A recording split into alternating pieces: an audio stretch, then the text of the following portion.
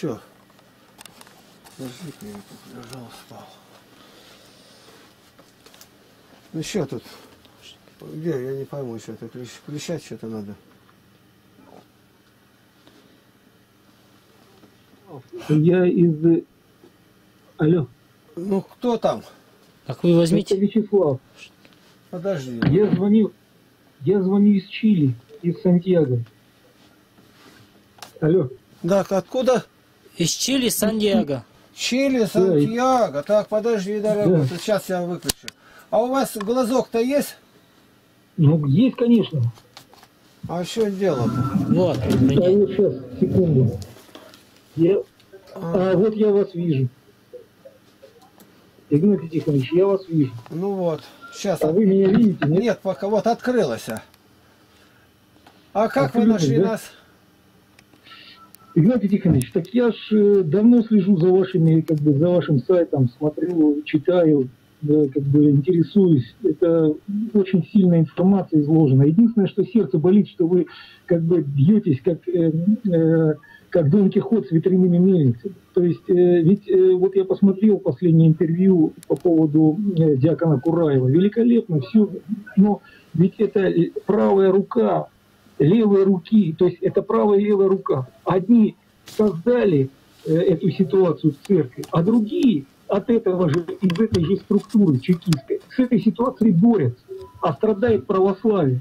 То есть, э, чтобы дискредитировать церковь, для этого было насаждено такое количество агентуры, именно агентуры распиленные, то есть агентуры, ну, практически это вот педорастическое лобби, это и есть чекистское присутствие внутри церкви. И другая часть чекистского лобби, это вот эти вот диаконы Кураевы, которые вот устроили вот этот цирк, когда одни борются с, с проблемой, которую они же сами и создали, понимаете? То есть с проблемой борются те, кто ее создал. Структура одна, только у этой структуры правая и левая рука. А страдает тело, то есть страдает церковь, страдает тело Христово. И поэтому здесь ситуация, вот я смотрел просто, у меня уже сердце кровью обливается, я начал искать, смотреть, как же, думаю, с вами поговорить, чтобы вот так вот в открытом эфире, ну, напрямую высказать, без скайпа. Я вам отправил э, эм- на e свое краткое такое вот описание истории своей жизни. Не знаю, вы прочитали, нет. Там фотографии я привел, маленькие события, которые вот чудесные были в моей, в моей жизни изложил. И, соответственно, я не знаю, если вы прочитали, то было бы очень э, мне э, как бы важно услышать ваше мнение. Хорошо. Там Николаенков э, gmail.com, мой email. Николаенков gmail.com. Я вам отправлял, значит, на ваш email э, вот А когда вы отправ- описание. как- когда отправляли? А я отправлял два дня назад, три дня назад отправлял. И специально на ваш почтовый э, вот, э, Вы адрес, еще раз э, пош- пошлите, может быть, у меня прошло мимо, что-то я не вижу. И вы знаете, там информация изложена именно та, как сейчас технологии, какие технологии сейчас существуют э, управления э, народом, именно православными людьми, Ну, понимаете? ну, ну, ну. И плюс вы держите почтовый ящик э, на Лубянке, то есть э, email.ru – это э, адрес, который полностью просматривается ФСБ. И они как, как- какую почту им не выгодно, они ее всю удаляют. То есть у вас ящик взломан, грубо говоря, и в нем э, другой хозяин. Хозяин – это спецслужбы в вашем почтовом ящике. Поэтому, естественно, вы многие письма просто не получаете. Поэтому лучше всего иметь почтовый ящик на нейтральной где-нибудь э, стране, где-нибудь в Австрии, где-нибудь в Германии, где угодно. То есть зарегистрировать почтовый ящик в любой другой стране, только не в России. А у вас почтовый ящик в России, поэтому, соответственно, спецслужбы России полностью э, просматривают почту и все неудобные, неугодные им письма удаляют, понимаете? Вот и все. А те письма, которые им выгодны, они наоборот их муссируют, понимаете? И получается, что вас спровоцировали на э, разговор по поводу вот, э, проблемы с Кураевым. Но ведь Кураев сам по себе себя дискредитировал полностью. И ту проблему, которой он сейчас занимается, это проблема, чтобы себя реабилитировать. Потому что чекисты – это люди, которые планируют события на много лет вперед. Понимаете? И они уже сейчас запланировали будущее снятие патриарха, они запланировали сейчас уход Путина, причем не просто уход, а на него всех собак повесить, понимаете? Его судить будут. Они же сами судить будут. Те, вот тот Синедрион, который его держит, как, грубо говоря, как флаг, мотает тряпку эту над баней, понимаете? Они его потом судить будут сами же, понимаете? А то плюс к этому еще Горбачева присоединят, еще многих кого и так далее. То есть они-то сейчас готовят ренессанс СССР, они сейчас готовят вот именно то, что, чтобы опять продолжить э, все делать против русского народа, за счет русского народа и помимо русского народа.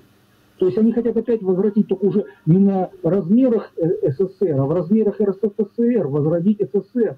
То есть вот эту оккультную аббревиатуру они готовятся опять возродить. То есть голем оживят, хотя хотят оживить.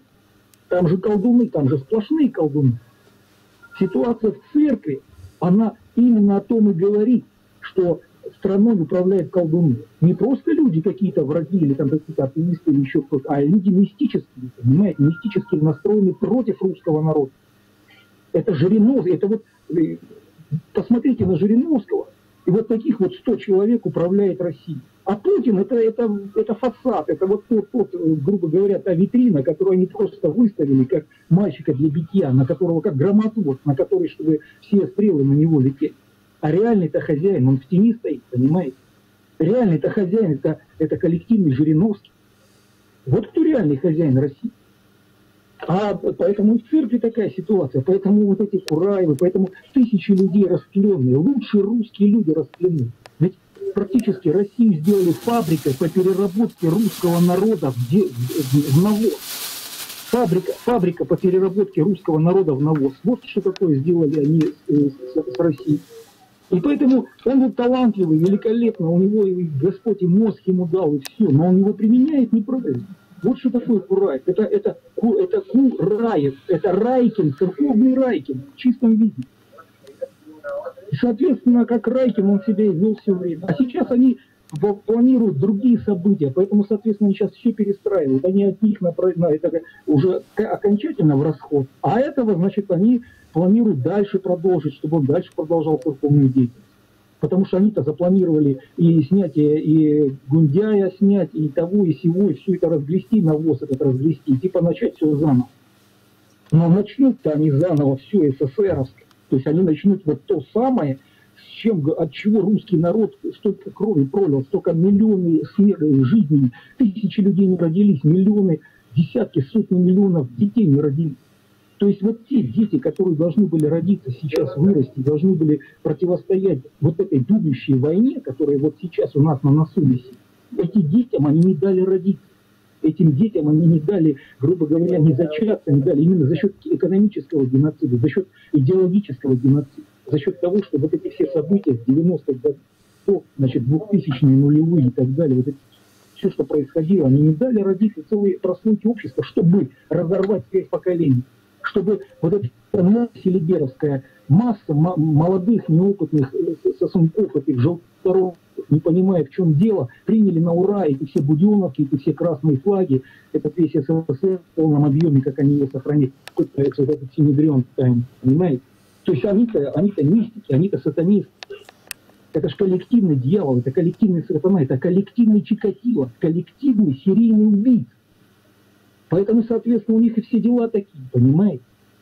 Поэтому технологии, которые они к народу применяют, и химические, и биологические, когда специально народ заражает такими болезнями, которые делают его тупым, когда целые институты работают на то, чтобы управлять народом, как это все делать и так далее, там работает в основном ведь нерв, работают в основном полукровки, армяне, евреи, значит, вот эта вся, вот этот Жириновский коллективный работает во, всем Поэтому они люто ненавидят. Для них русские это как, как ну, это, это синоним смерти. Поэтому либо они, либо русские.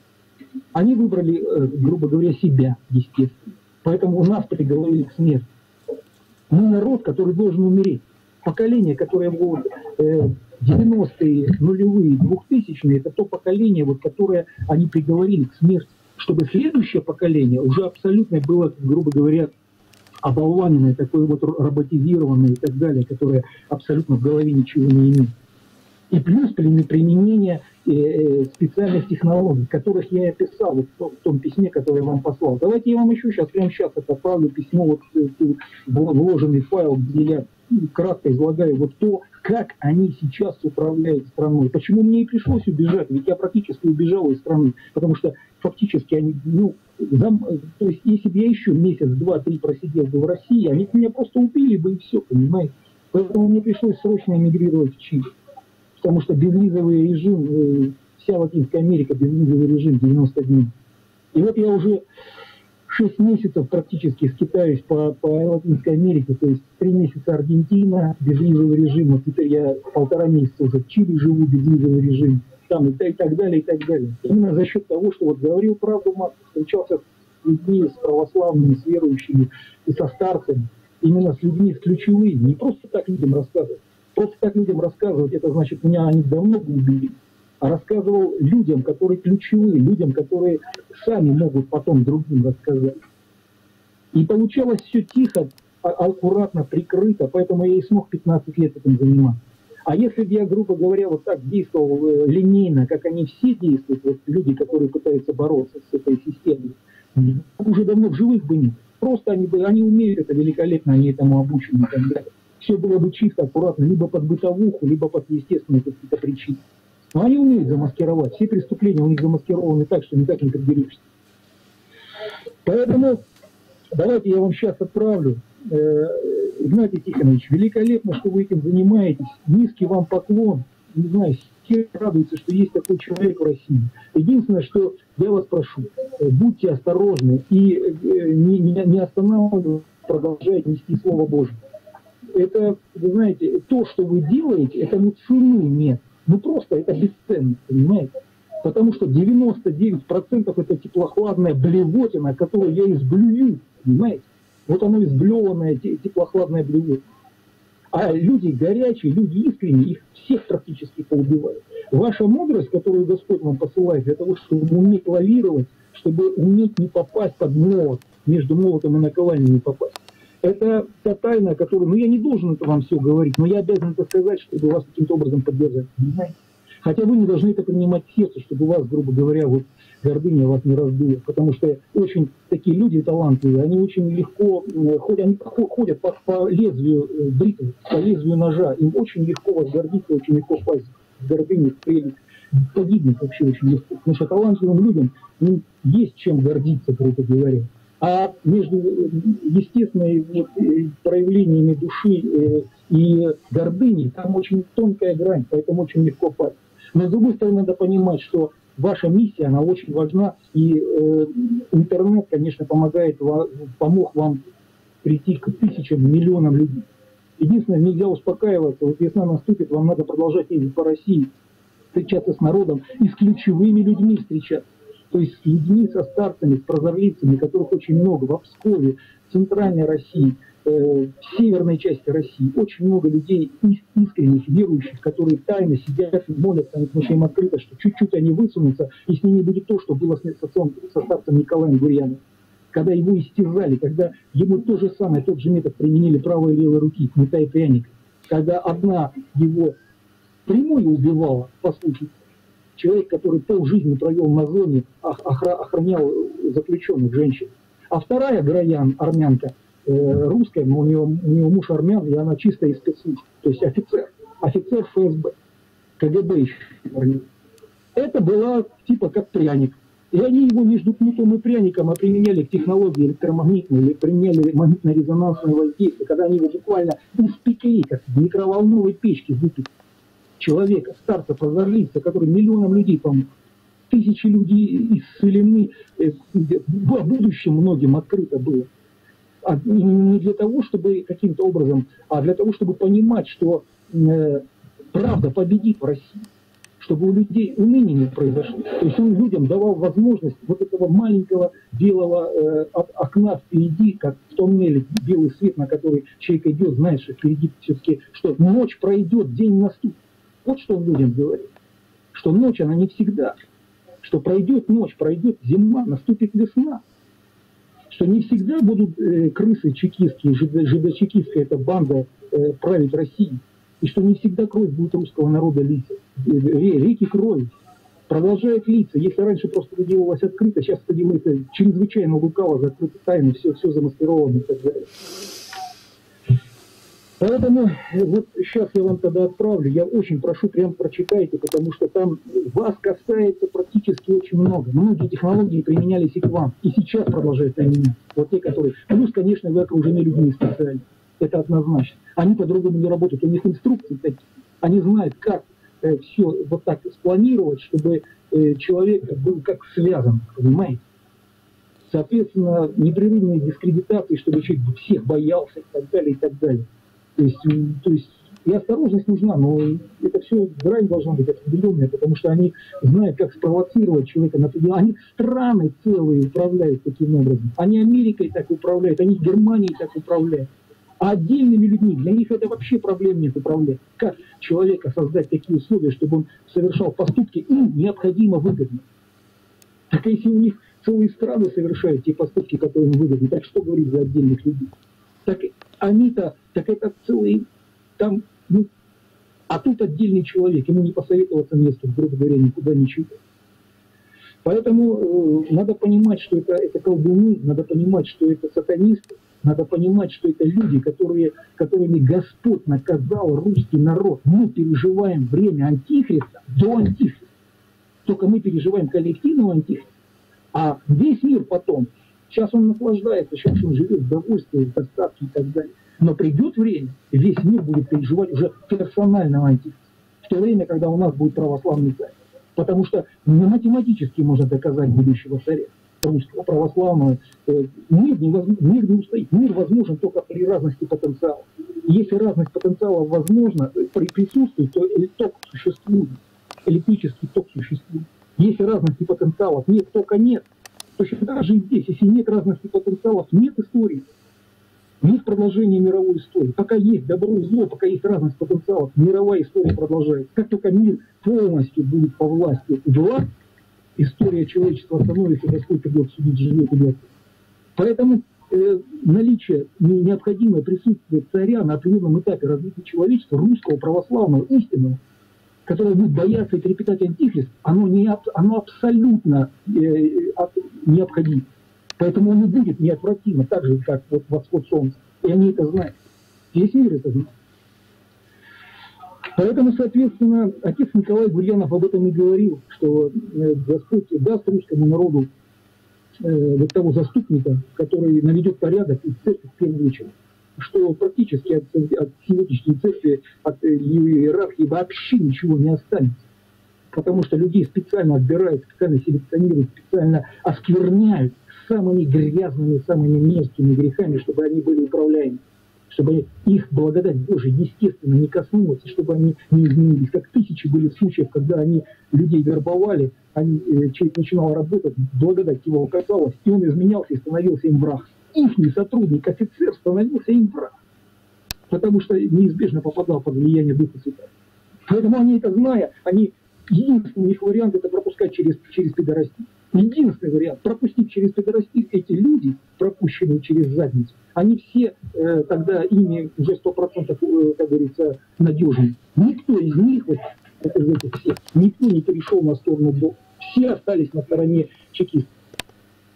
И ведь это, это, это, это явно, поэтому у них это обязательное явление через самые скверные, самые мерзкие грехи пропускать которые, естественно, потом занимают ключевые места в церкви. И бороться с этим, ну, это тут не бороться, тут вычищать Господь будет. Огнем и мечом вычищать. Не, не изменять их, а именно вычищать. И это делать будет Господь премудро, чужими руками, не русскими руками, а чужими, потому что сколько вычистить скверным, это нас на века тогда весь мир пропишет, что мы звери, мы злодеи, мы, мы убийцы, мы ангрозны, мы пятое, десятое. А Господь поэтому премудро сотворил так, что Он будет разбираться с этой проблемой чужими руками, то есть руками китайскими, руками других, руками других стран. С юга подойдет Турция, со стороны Запада подойдет Европа объединенная. И вот этот э, двунадесять языков опять придет в Россию, чтобы навести порядок, чтобы нас отрезвить от нас, лечил от э, э француз, франкопоклонения лечил нас Наполеон, от поклонения немецкой механики, немецкому э, как говорится, орденгу, порядку, поклонение порядку немецкому лечил нас Гитлер, а, а перед этим Кайзер. А, а сейчас нас будет лечить уже Китай, лечить нас будет уже весь мир. Турция придет, чтобы очистить э, юг России от армянского ига. Э, и, соответственно, э, Европа придет нас лечить от поклонения европейскому культуре и так далее. А китайцы придут просто навести порядок в Сибири. Там творится такое, что я вот, я, про, я крестным ходом, ну я описывал, описал это все. Крестным ходом прошел до Владивостока из Ростова. Искал место, где просто спрятаться, сбежать. Поэтому Конечно, это все, это все вот уже, вот это вот все это будет разворачиваться на наших глазах все эти события. И они скоротечные, это все геометрическая прогрессия, ускорение времени. То есть Господь, это все будет все быстрее, быстрее, быстрее, потому что э, запас прочности уже иссяк.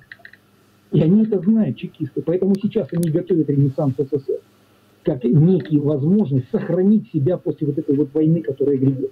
То есть они все-таки надеются остаться, как говорится, власти или где-то как-то сбоку припеку. Но э, сейчас они начнут национализм разбивать, сейчас они начнут то, все, пятое, десятое. То есть, ну, все технологии их они сейчас начнут применять. Понимаете? Поэтому нужно сейчас быть очень осторожным. Для чего? Чтобы они потом вас не использовали. Ведь они ваш авторитет будут пользоваться вашим авторитетом. И вот этот вариант с Кураевым, это великолепно. Вы правду маску врезали, как говорится, радовало сердце, что ни одной запятой неправды не оставили. То есть расчистили буквально в чистоту, что называется, понимаете? Чап, Чаплина, это Чарли Чаплин, понимаете? Но э, смысл-то не в этом. Смысл в том, что они попытаются использовать, чтобы людей, которые себя дискредитировали, как Курай, их реабилитировать их обелить, чтобы потом опять дублированно использовать и так далее. Ведь у них ресурс человеческий не бесконечен те люди, которых они много раз использовали, они их сейчас отмоют и пустят по новой, понимаете. Третий сорт не брат, э, как говорится, э, брушное использование, они для них великолепно дальше пойдут, понимаете. И куда дальше пойдет, и они уже теперь его перелицуют, будет такую правду маску сейчас порочь, что у людей волосы от, от радости будут дыбом стоять, понимаете. Ну, а это же их не человек, он-то их не дела будет делать, понимаете. Он не правде Божьей служить будет. Не Богу, не истине, а им. То есть тем же самым, которые вот это все церкви создали. И вообще в государстве и в стране. Тем, те, тем которые, которыми нас Бог наказал, наш народ. Вот он им-то и служит, понимаете? Правды-то в нем нет. Истины-то в нем нет. Хотя, конечно, э, делает сейчас правильное дело, понимаете, пытается церковь чистить. А что там чистить? Там чистить нечего, там все удалять надо. Это как раковая опухоль, понимаете, там все метастазы полностью пропитаны. И Господь это сделает чужими руками. Опять же повторяю. А тут как раз заставит Господь людей молиться. Потому что сейчас они создадут идеальные социальные условия. Сейчас э, начнут людей кормить, пятое, десятое, там, зарплаты, деньги и так далее. Но перед тем, чтобы вот потом всех добрить, в том числе женщин, женщин даже в первую очередь, раздать автоматы и отправить на мясо. Но это и тоже премудрость Божия, потому что это заставит людей молиться искренне молиться, сильно молиться, кричать Богу, Господи, помоги. Весь народ будет кричать, Господи. А перед этим, конечно, они подкормят людей. А потом голод сделают, чтобы всех построить, чтобы всех заставить строем ходить. То есть все эти события, они вот, вот они, они практически мы э, в преддверии вот этой вот развершейся черной тучи, которая сейчас подход, подошла уже к пределам России, которая грохочет этими молниями. И старцы и духовные отцы, они это видят духовными очами. Потому что молятся день и ночь, Господь многим открывает. И мне хотелось бы, чтобы вы таких людей увидели, чтобы вы с такими людьми познакомились. И э, я уверен, Господь вас, вам их всех откроет, этих людей. Если они за вас будут молиться, вы за них, да плюс обмен молитвой, да плюс обмен мнениями, просто разговор, обычный живой разговор, где э, вы увидите силу Духа Святаго, где вы увидите, что человек действительно все открыто, понимаете? Не просто про вас, а или там про что-то, а про вообще все, что в мире будет, понимаете? такие люди есть, но они боятся, они понимают, что у них сразу судьба будет у Николая Гурьянова. Поэтому они все, они все под судом, они все либо в юродстве, либо в каком-то чего-то, они все замаскированы. Потому что Господь премудро умудряет, как, как сделать так, чтобы их чекисты не поубивали.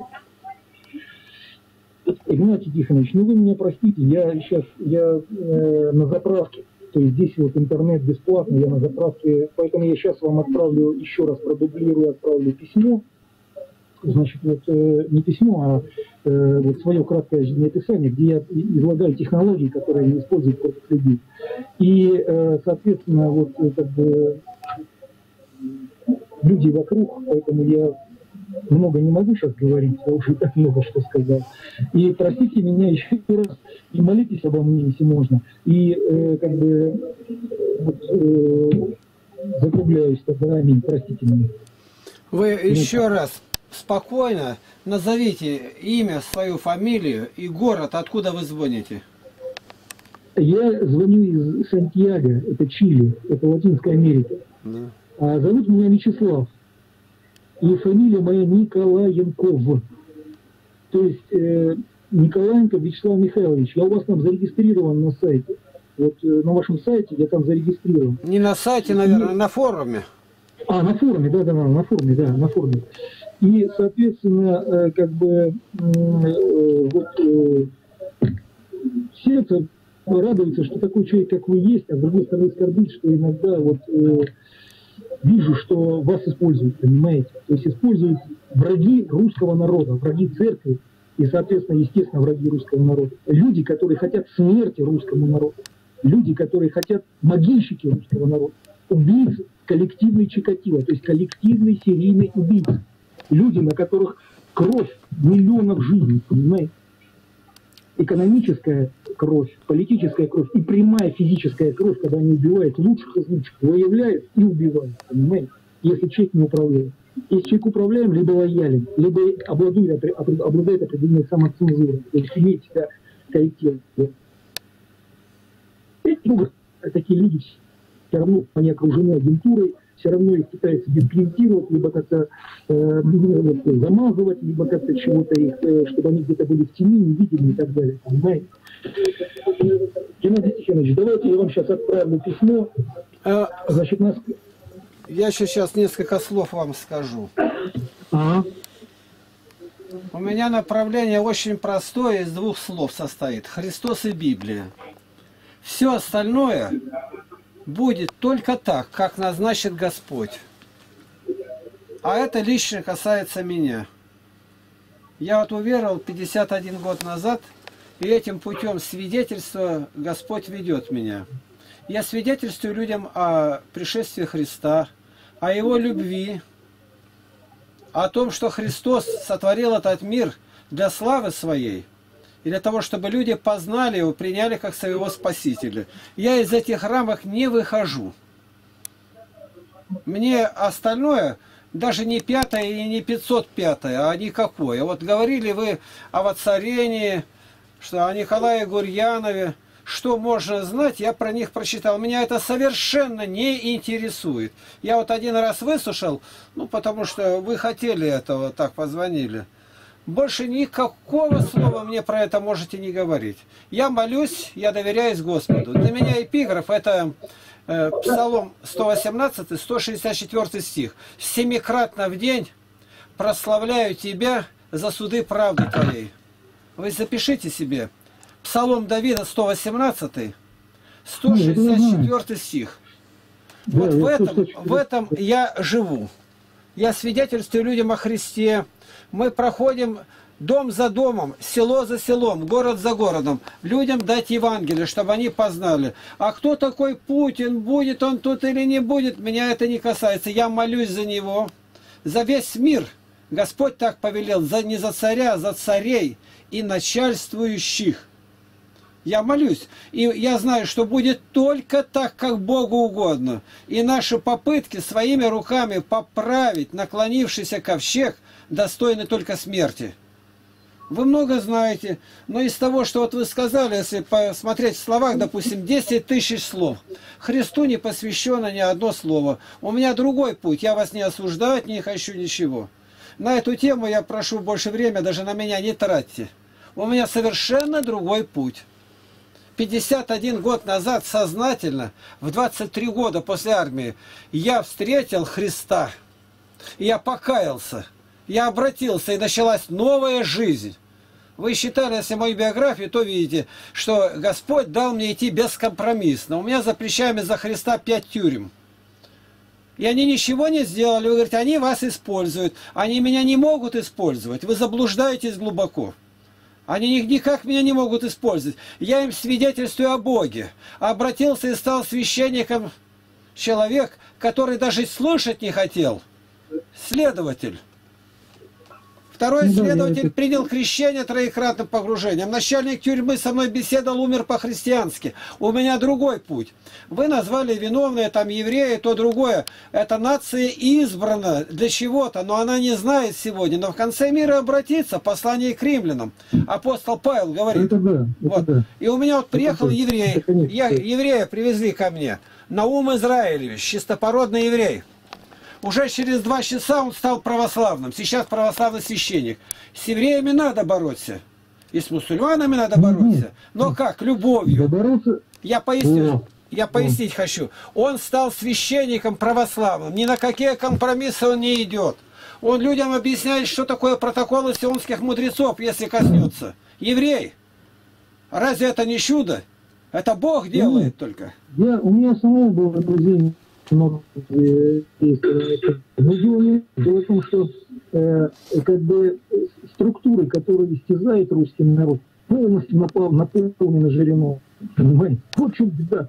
Беда-то в том, что коллективы Вячеслав, правит Вячеслав, понимаете? Вячеслав, Ну, Не пожалуйста. только русских это. Вячеслав, Да. я попрошу больше к этим разговорам не возвращайтесь.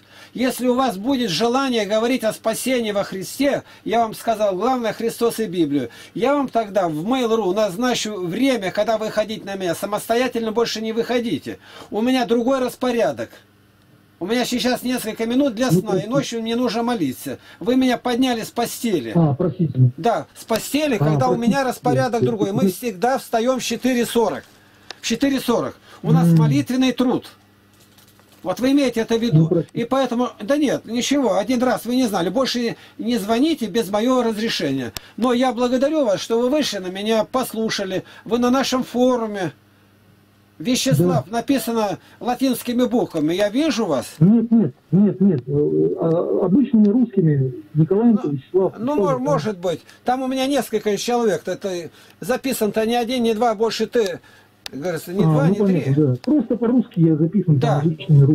Вот если у вас будут какие вопросы, вы заходите на наш сайт. Сайт, не Ну, форум, спасибо. а сайт. И там Ну, я сайт, отвечаю да. на 4124 вопроса.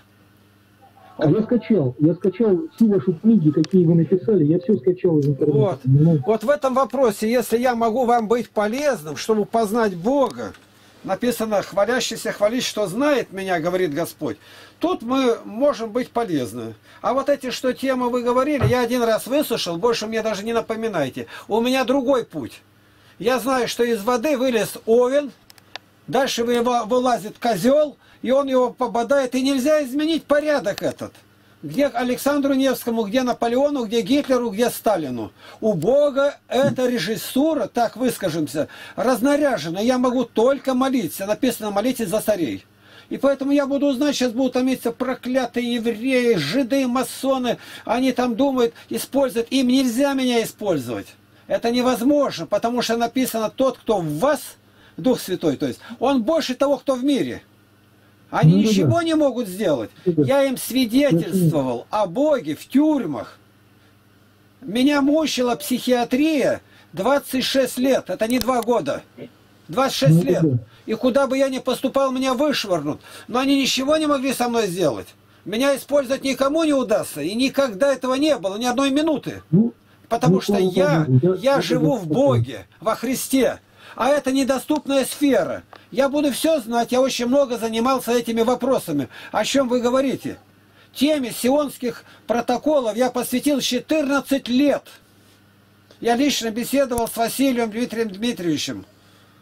С Ну Дмитрием Дудко, Александром Менем. То есть у меня, вы говорите, были знатные люди, я беседовал с людьми этими. И скажу, все этими людьми- нуждаются во Христе. Ну это да, я с ними тоже знаком с этими людьми. Но дело в том, что как бы потом я насмотревшись на это на все, мне я просто закрылся, понимаете. То есть я сидел дома, молился, читал. э, вот как бы, то есть я сам прошел через... через Так, у вас вопросы ко мне есть? Вопросы Все, какие? спаси Господи. Вопросы, если Э, есть нет, какой-то, задайте вопрос. Если вопросов Ну, нет, вопрос- я вас благодарю, и мы на этом расстаемся. Да, Да, здорово, больше попрошу не, не звонить, пока не договоримся по Mail.ru. Потому что для меня ну- этот разговор совершенно как бы и не бывший. Я ничего из этого не принимаю. Я христианин православный. Я среди сектантов работаю. Из них сколько пришло, стали православными батюшками. Их никто не использует. А что русский народ, геноцид, каждый год по миллиону, сами виноваты. Нас никто не уничтожает, мы сами себя уничтожаем. И еще, если мы хотим быть благословенные, вот вы, первый вопрос надо понять. Благословение никогда не проклинай евреев. Проклинающий, Да про- я сейчас говорю, благословляющий будет благословлен. Это я вам говорю, это Аврааму сказано. И второе благословение им заканчивается, последнее. Платите десятину Божию. Платите. Написано, проклятием вы прокляты, что вы обкрадываете меня, не платите десятину. Это Малахия, вторая, третья глава. Если мы это знаем, все остальные благословения во Христе Иисусе, благодать на благодать. Ибо Он, Иисус, и Иегова, Бог, отдал за нас Иисуса Христа, Сына Своего, который пролил за нас пречистую кровь на кресте. И я принял Его как Спаситель, и я в Нем живу. И то, что политически вот эти нюансы, Пу- Путин уйдет куда-то, меня абсолютно это не касается. Совершенно. Я слышу, знаю это, я очень много занимался политикой. Со мной беседовали вплоть до министра и эти разные секретари горкомов, крайкомов, КГБ. Меня нельзя никуда сдвинуть. У меня очень простой стержень. Это Христос. Для меня жизнь Христос и смерть приобретение. Я пришел в сознательном возрасте. Мне было что оставить. Мне Бог очень многое дал. И я посчитал это за ничто. Что для меня было преимуществом, ради Христа пощел считаю. Да и все посчитаю за ссор ради познания моего Господа Иисуса Христа. Вот в этом направлении я работаю и могу, если быть полезен для вас, я не отрекаюсь. Все остальные разговоры мимо меня больше даже не напоминайте. Меня это не касается. Может, кому-то они и нужны разговоры, но не мне. Мне Ну, 74 понятно. года уже. Я думаю о том, как я встречу моего Господа, что я ему покажу, что у меня сегодня было, какой мой труд перед Богом. Я должен прийти с верой, с делами. Если этого нет, ничто не поможет. Вера без дел Ну, мертва. И поэтому каждое слово Иисус взвешивает. У меня каждое слово должно быть о моем Господе. О моем любимом Христе. Я для Него живу. Я знаю красоту православия. И знаю, что оно сегодня почти мертвое. Я что Верно. могу, то и делаю. Брат у меня протоиерей. 35 лет стажу. Вот вы знаете, что мы там православную деревню строим. Я начальник, Ну, да, организатор детского лагеря. 41 год, без помощи государства. Тысячи детей подняты. Игнатий Тихонович, если у меня Господь сподобит, то я, может быть, чем-то вам и помогу, может быть, даже финансово. Кто знает. Господь, ну, вот то, что Если делаете, очень желаете, важно. желаете, я вам вышлю свои реквизиты. Да вы их на форуме Ну, найдете. На когда форуме, да, спрашивают на про форуме. книги, я им людям говорю. Так что Ну, мы от помощи не отказываемся. Мы сейчас открываем визу на шенгенскую зону, нынче, и э, на Англию. Мы нынче Мгм. думаем пройти через Украину, Грецию до Португалии. Пройти всю Очень Скан- хорошо. Скандинавию, всю Англию и Прибалтику. А в прошлом Очень году мы прошли 6 мусульманских республик, 15 государств. И за два года мы прошли, прошли за два года 360 городов и сел. И везде мы дарим Евангелие, везде я выступаю. Наша задача. Христос. Для меня жизнь это Христос, а смерть приобретение. Спасибо, Господи. Вот я, я хотел бы также тоже говорить, э, как говорится, как вы сказали, но чаще. Просто я то же самое говорю, но реже. Вы говорите очень часто, что жизнь Христоса, смерть приобретения. Игнатий Тихонович, ну не буду у вас отрывать время. Помоги вам, Господи, в молитвах ваших, трудах подвижнических. То, что вы за- задумали пройти через э, Украину, это великое дело. И Европа тоже вас ждет, я уверен. Но вы знаете, мне кажется, центральная Россия, Псковщина, э, вот э, Сибирь, э, значит, Приморье, вот там, конечно, тоже... Мы оттуда пришли, мы дошли до находки Владивостока. Все города прошли. По районам, центральные все районы, которые есть, допустим, в Алтае 63 района, в каждом районе мы были, в каждой библиотеке я дарю мои книги. Вот за два года только мы подарили на 7 миллионов 150 тысяч. А у меня самая минимальная пенсия 5500 рублей. Да разделите на 50. Что получится? Сколько евро я получаю? Бог научил Ну, меня это жить да. и в скудости, и в изобилии. Это Бог Ну, мне дал. И поэтому, если у вас будут вопросы о Христе, о спасении, тогда мы договоримся, когда я разрешу вам выйти на меня. Это примерно как вот вы вышли на два часа раньше. На два Мгм, часа раньше. понял. Только по Мгм, разрешению. Понял. Вы пока смотрите, если вам понравятся наши видеоролики. Мы это все снимаем, это все выставлено будет. Пусть, чтобы вас Да, не смущало. Я на YouTube Ну вот, вот вы видите, подойди, Володя. Вот, вот Володя снимает. Вы видели, что он все время здесь стоит. Снимает. Добрый вечер. Это не против. Ну все, прощаемся. Да, с Богом. С Я Богом. желаю вам блага и спасения духовного во Христе Иисусе Господе нашим. Слава Иисусу Аминь. Христу во веки веков. Аминь. Храни вас Господь. До свидания. Выключайте. До свидания. Видишь, какой Сантьяго, Чили. Много что там было.